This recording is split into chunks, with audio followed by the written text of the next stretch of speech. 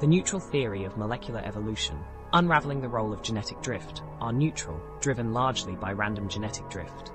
This concept has reshaped our understanding of genetic diversity, evolutionary dynamics, and the mechanisms behind molecular changes in life forms. While natural selection is a powerful force in shaping phenotypic traits, the neutral theory emphasizes that not all molecular changes are adaptive. Many changes in DNA and proteins occur by chance and accumulate without any significant impact on survival or reproduction. Impact on evolutionary research. The neutral theory significantly influenced how evolutionary biologists approach the study of genetic variation. By suggesting that a substantial portion of molecular changes do not affect fitness, the theory led to the recognition that not all genetic diversity is the result of selection. Instead, some of it is simply the byproduct of random processes like genetic drift. This understanding has broadened the scope of evolutionary research, emphasizing the role of stochastic factors in shaping the genomes of organisms. One important consequence of the neutral theory is its, here's the text to process, contribution to the understanding of molecular clocks. By identifying that neutral mutations accumulate at a constant rate, scientists have been able to use genetic differences between species to estimate divergence times. This has been a crucial tool in tracing evolutionary lineages, determining when different species last shared a common ancestor, and constructing phylogenetic trees. Genetic drift and population genetics.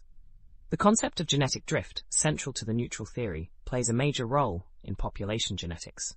It proposes that in small populations, genetic changes can occur purely by chance, regardless of whether those changes offer any survival advantage. In larger populations, selection pressure is typically stronger, and advantageous mutations tend to rise in frequency, while deleterious ones are eliminated. However, in smaller populations, the effects of genetic drift are amplified, and neutral mutations can spread simply due to random chance. This randomness in genetic drift can help explain the maintenance of certain genetic traits in populations that do not necessarily improve the fitness of individuals. For example, in a population with little selective pressure, neutral mutations may accumulate over time without being selected for or against, leading to an increase in genetic diversity that might not be immediately tied to evolutionary adaptations. Explaining high levels of genetic diversity.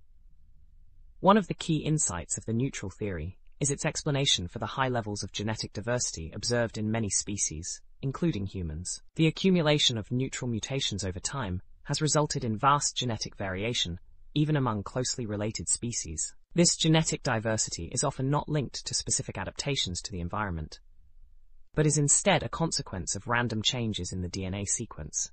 In fact, some of the genetic differences between individuals or species are neutral and do not contribute to survival advantages or disadvantages. In humans, for example, genetic diversity exists across populations due to both selective and neutral processes. While some genetic variations confer advantages, such as resistance to disease, other variations are simply the result of genetic drift, with no impact on fitness. This understanding of genetic diversity helps explain why closely related species or populations may still exhibit significant molecular variation even when they occupy similar ecological niches. Role of natural selection in the neutral theory. Although the neutral theory places great emphasis on neutral mutations and genetic drift, it does not completely disregard the role of natural selection. In fact, the theory suggests that natural selection operates only on a minority of mutations, those that have significant positive or negative effects on fitness. Most genetic changes, however, are neutral with little to no impact on the survival or reproductive success of an organism. For example, mutations in regions of DNA that do not affect the functioning of essential proteins may be considered neutral, while those that change the structure of key proteins or affect gene regulation may be subject to natural selection. These adaptive changes contribute to an organism's fitness and are more likely to spread through a population whereas neutral mutations to accumulate without influencing an organism's evolutionary trajectory. Molecular evolution and the neutral theory. Today, today, the neutral theory continues to play a crucial role in our understanding of molecular evolution. It has provided a framework for studying genetic variation at the molecular level and has influenced the development of computational tools that estimate evolutionary relationships By analyzing genetic sequences, scientists can identify conserved regions of DNA, track the accumulation of neutral mutations, and infer the timing of evolutionary events.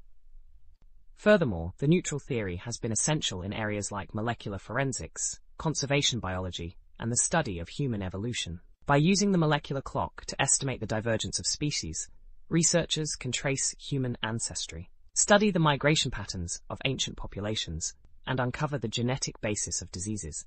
It has also helped clarify the role of genetic variation in adaptation, population structure, and speciation. Conclusion.